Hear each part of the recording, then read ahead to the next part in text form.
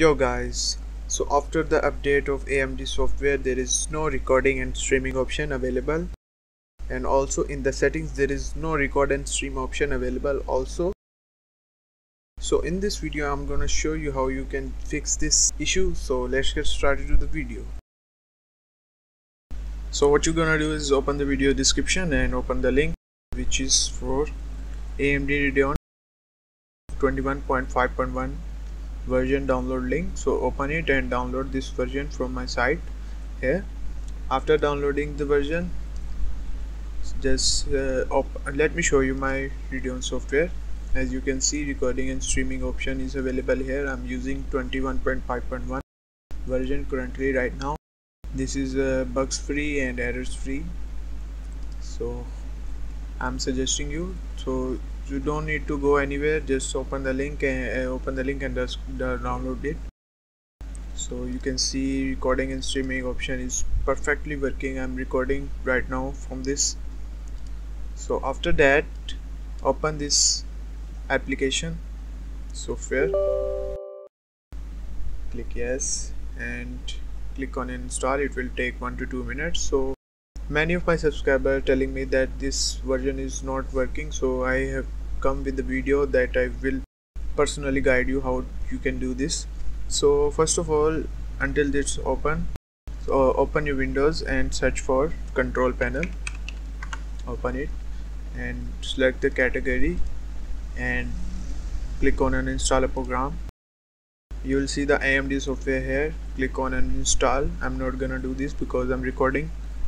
So I will guide you.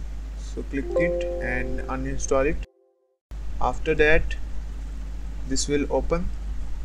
Wait for it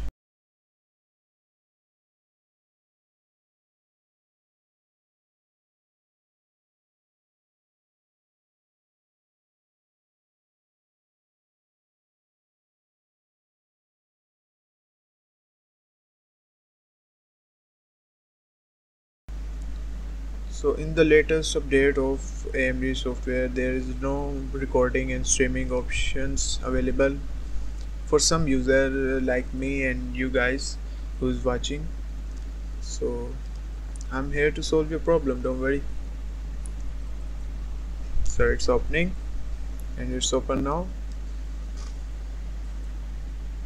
So watch carefully and do it carefully so uh, you can see the additional options here. Click on it and uh, you have to check this box factory reset.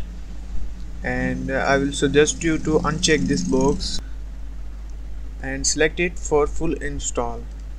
Click on full install and click install. I'm not gonna do this because I'm recording. So already have I did this. So you guys have to check this box and click full install and click install.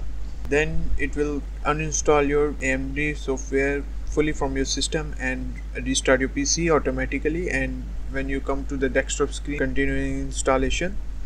So you don't have to open anything. And it will uh, restart again your PC and you will see the AMD Radeon software is showing recording and streaming option.